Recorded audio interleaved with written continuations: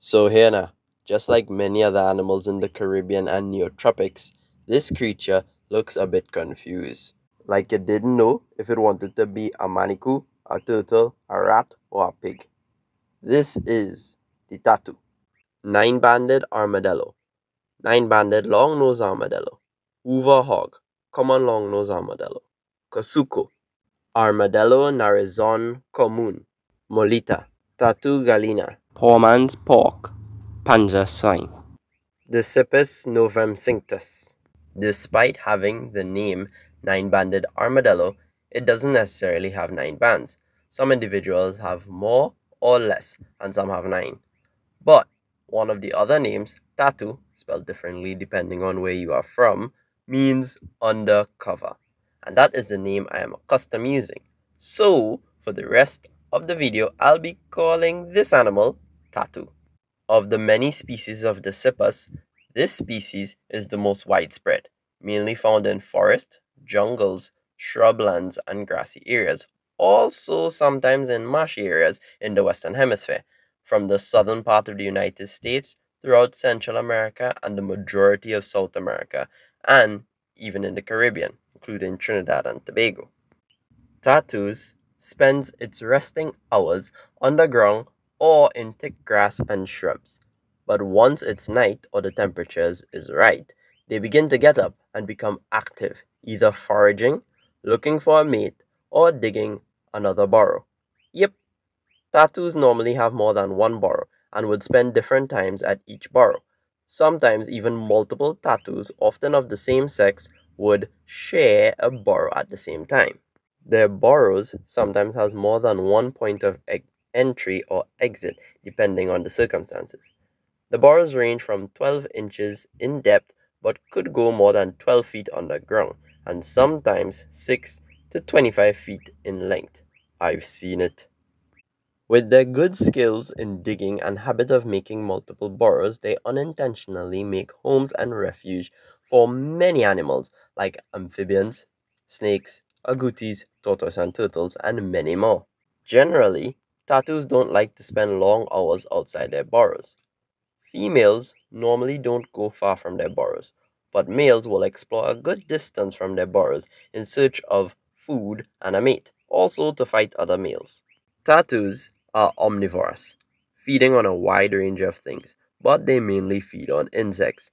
They also eat some fruits, flowers, shoots, buds, eggs, mushrooms, fish, crustaceans, mollusks, small reptiles like snakes, young turtles and lizards, birds and small mammals. Once they can catch it and overpower it, they would eat it. Tattoos don't have very good eyesight, so they search for food using their excellent sense of smell and hearing. When it comes to searching for arthropods, aka insects, etc., they would stick their long nose in the soil and thick vegetation and scratch the surface about 8 inches deep while moving forward, periodically stopping to lap up worms and grubs and arthropods with their long sticky tongue and viscous saliva.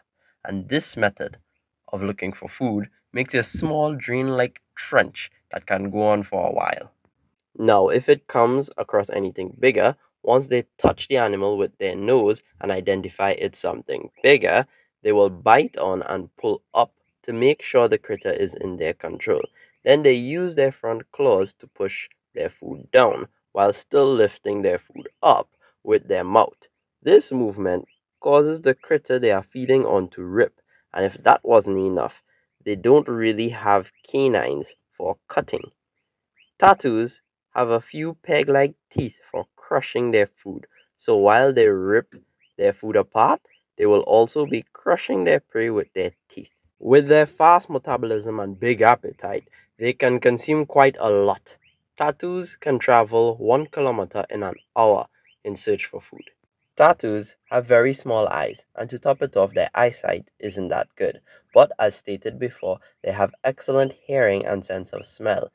They are generally skittish animals, and the slightest thing could give them a good scare.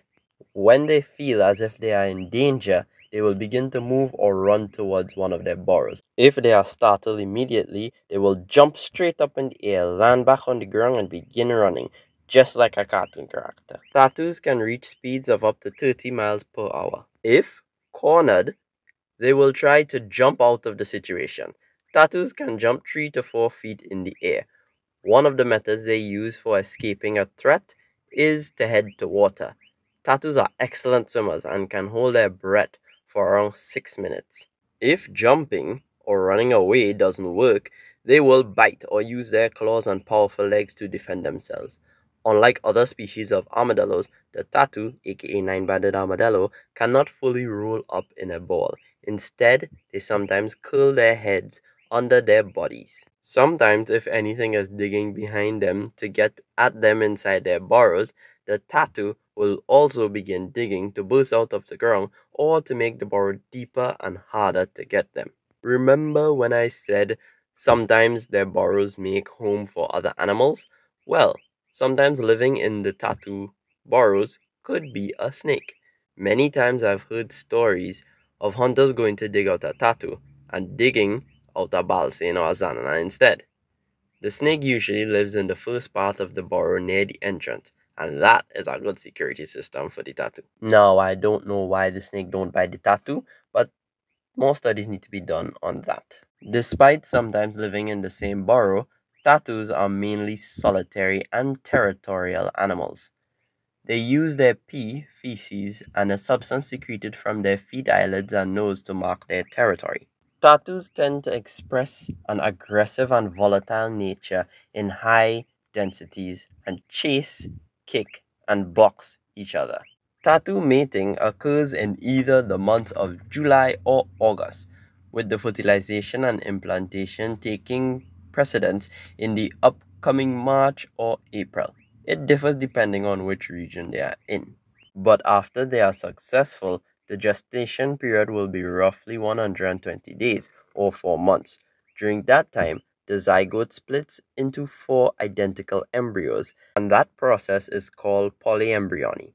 Female tattoos will give birth to quadruplets, all the same sex and with their eyes open, and is able to move soon after birth. Their weaning period is around 4 to 5 months, after which they will begin foraging with their mother. A tattoo will reach sexual maturity in one year. Tattoos can breed and live up to 15 or 20 years in the wild, but it has been recorded in captivity some individuals living 23 years. They can reach a length of around 25 to 42 inches, and that is from the tip of the nose to the tip of the tail, and weigh around 14 to 22 pounds. 6 to 10 kilograms. Because of the way the tattoo is, tattoos don't have much predators. Now, some species of wildcats, crocodilians, boas, and wild canines may prey on them, but their hard shell claws ability to swim, jump, dig, smell, and hear makes it challenging to catch them.